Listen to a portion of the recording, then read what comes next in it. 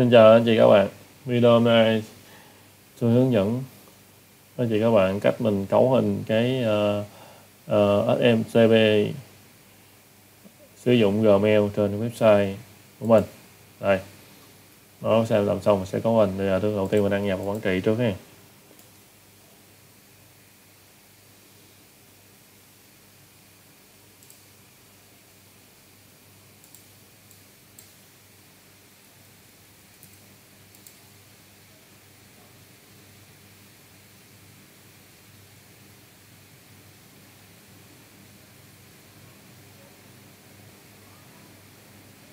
rồi. Quản trị xong rồi mình sẽ cài một cái login mtp gmail vô cái website của Red mình login, cài mới.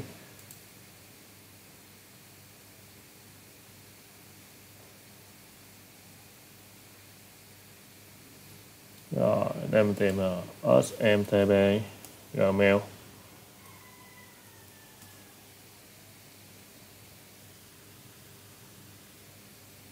Ở trên đây có nhiều cái login MTP Gmail lắm. Tôi sẽ hướng dẫn anh chị các bạn một cái login mà tôi đã từng tôi đã từng xài nó ok. Bởi ờ, ờ, uh, uh, Intem nè. Này, nhớ nhớ đúng bởi Intem cài đặt login này nha cái login kia thì chưa có tôi chưa có test thử nên tôi chưa biết nó nó có hiệu quả hay không. Nhưng thấy login này thì rất là hiệu quả xài login này ha.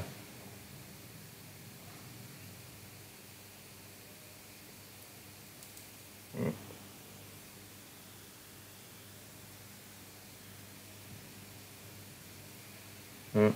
sau khi cài đặt xong rồi mình sẽ có được Win Gmail đây. Đó. Trước khi mà trước khi mà um, hướng dẫn của mình thì tôi sẽ nói uh, cái tại sao mình phải cài cái login MTP Gmail mà tại sao mà có mình MTP Gmail trên website. Ví dụ như là khi người dùng vô trang liên hệ của mình người dùng điền form đi điền form điền thông tin thì đây người gửi. Người điền form đi mình điền điền form đi. Dụ vậy đi nha. Uh, test submit thì cái nội dung này sẽ gửi đi đâu? Nó sẽ gửi vô uh, website của chúng ta đây không gửi email nè. Đó. Hoặc là người dùng vô website của mình mà người dùng khách hàng của họ là mua mua sản phẩm đi. Khi mà giỏ hàng mà mua sản phẩm thì cái đơn hàng nó sẽ gửi về đâu? Nó sẽ gửi về mail của quản trị. Thì để mà gửi được mail quản trị để mà gửi được để mà website có chức năng là gửi mail khi mà người dùng điền form và gửi mail khi khi có đơn hàng mới thì mình phải có hình SMTP cho WordPress mình mới thì mới ừ, website mới gửi gửi gửi, gửi được mail nha thì à, mình, mình đó là lý do mà mình sẽ cài login SMTP Gmail vào vô. Sau khi cài bên SMTP Gmail vào vô mà chưa gửi được đâu mình phải có hình khai báo thông tin thông tin. Đó thì để khai báo được cái thông tin này thì mình phải đăng ký một cái HTTP nào đó. Ví dụ ở đây sử dụng cái của Gmail hoặc là HTTP của một cái mail nào đó mà mình có. Nha để sử dụng HTTP Gmail. Ừ. Để làm được cái đó thì tôi ờ, sẽ sử dụng một cái Gmail. Ví dụ đây tôi có Gmail ở đây tôi dùng service mail. Nha. đây. Ừ. Tôi sẽ đi vô cái phần ờ, quản lý tài khoản. Ừ. tôi vô phần bảo mật. Đó. tôi vô uh, cái chỗ là xác minh mật khẩu hai bước tôi bật lên này nhé ngay chỗ xác minh mật khẩu hai bước thì tôi phải bật lên mới được. Ở đây tôi bật sẵn rồi tôi vô cho các bạn coi thôi. Tôi vô cho các bạn coi ở đây ở đây là tôi um,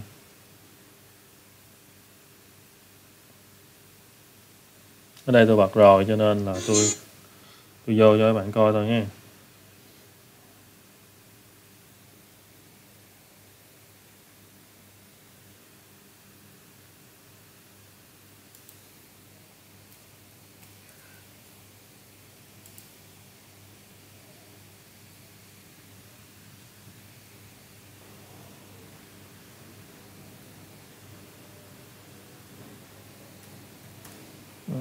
Như mình có bật rồi thì mình phải xác minh lại ha.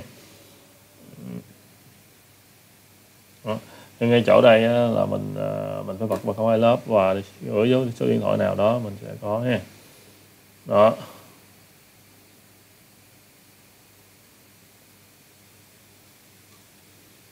Rồi, xác minh vài bước sau khi bước mật chức năng mật khẩu, bật được chức năng à, xác minh mật khẩu hai lớp ở trên mail này rồi thì tiếp theo mình mới vô cái chỗ là mật khẩu ứng dụng nè.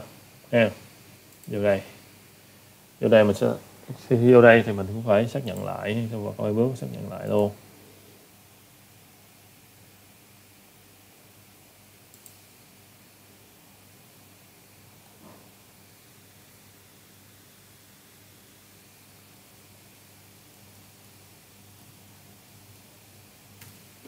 Đó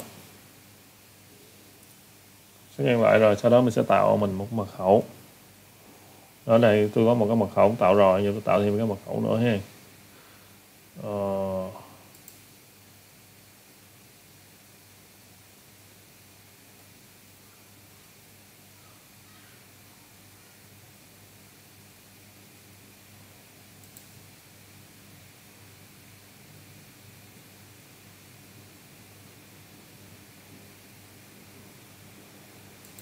quay lại quay lại. Ứng dụng. Rồi sau khi mình vô cái chỗ là tạo mật khẩu ứng dụng rồi ha. Lúc này mình à, đây liệt kê cho mình có một cái mật khẩu đã tạo rồi ha. Thì tôi tạo thêm một cái nữa để cho các bạn biết hướng dẫn các bạn làm luôn. Đây mình chọn ứng dụng ha mình chọn là thư. À, đây mình chọn là máy tính dùng Windows. Rồi tạo đi tạo cho mình cái mật khẩu đây. Ha đó đây mình sẽ à, lưu tạm lại đây ha. Lưu tạm ở đây đi. Đây đây ha. Xong bấm xong nó mới ăn nha. Đây mình uh, copy này luôn. Copy cái username luôn. Mình có được cái mật khẩu ứng dụng ở đây. Đó sau khi tạo xong rồi thì uh, mình quay lại đây luôn xong rồi đúng không? Thì tóm tắt lại là cái chỗ ờ, tài khoản Google á là mình sẽ tức tết phải bật vô phần bảo mật bật chức năng mật khẩu hai lớp sau bật chức năng mật khẩu hai lớp đăng nhập trở lại vào cái mật khẩu ứng dụng tạo cho mình là một khẩu ứng dụng thư máy tính dùng máy máy ờ, máy tính dùng Windows. Đó. rồi sau đó tiếp tục mình quay vô cái chỗ mà cài đặt của phần Gmail HMTP này để mình nhập vô ha.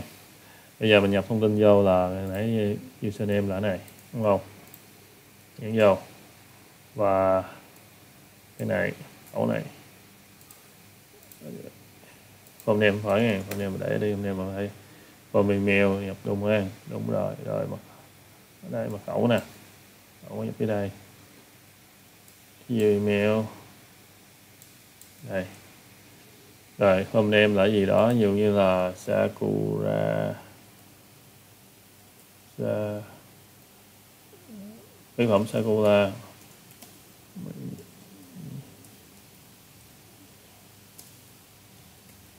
Phẩm uh, sakura.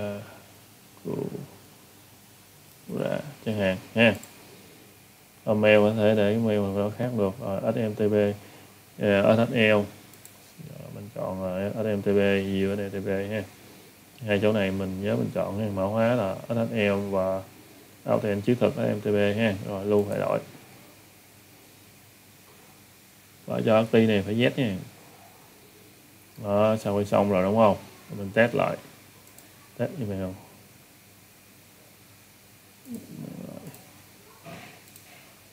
email then.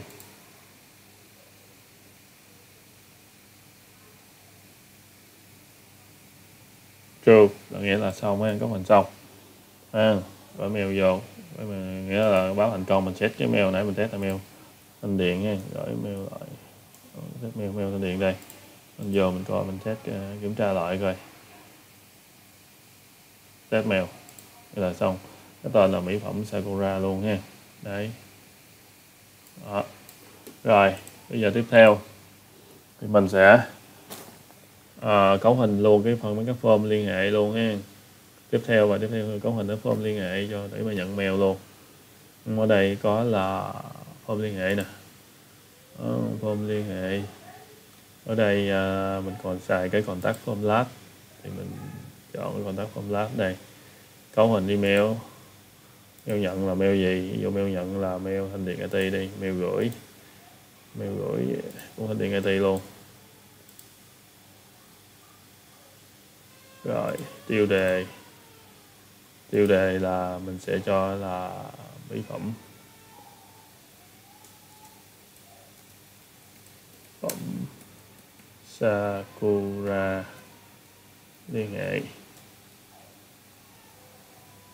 Chẳng hạn anh liên hệ ha như vậy đi ha đây mình sẽ lấy thông tin gì? Trên đây mình lấy thông tin là những những cái mình lấy nè.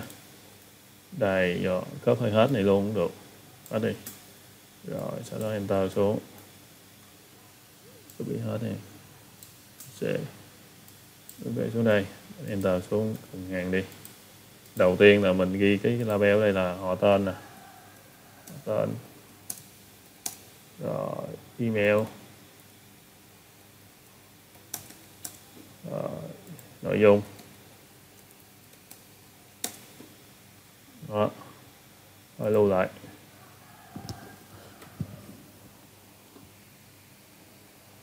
Đó.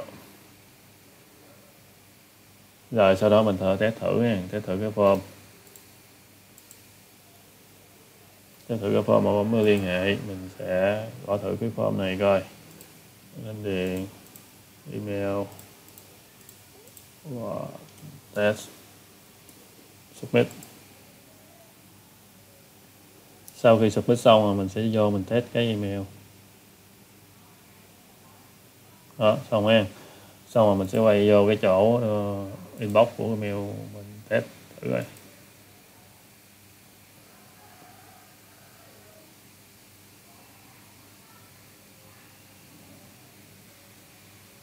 rồi mình vô mình test mail test không thấy mail. Lý do vì sao? Lý do do chỗ cái form liên hệ này nè cái form liên hệ này đúng không? Mình thấy là để mail nhận là mail service mail nhưng mình phải test cái mail service mới thấy nè. đó mail service mới thấy nè. Đó. Mail này mail nhận mail này thấy. muốn mail nhận mình có mail kia nữa thì mình phải thêm vô nghe. Bây giờ muốn mail nhận là mình có luôn cái mail kia nữa first thêm vô.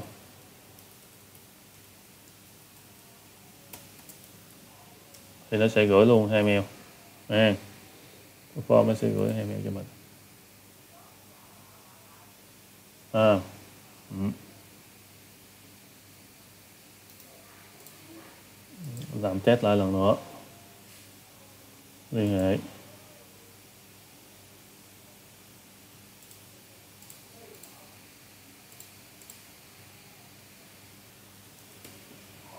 Smith. Smith thì sẽ gửi cho mình hai mail luôn ha đây. Đó, với mình em em. Đó đó là cách mình cấu hình SMTP để mà cái cái web của mình có chức năng gửi mail uh, cho gửi mail. Khi mà người dùng điền form mà gửi vô mail của mình để mình nhận nhận được thông tin nha.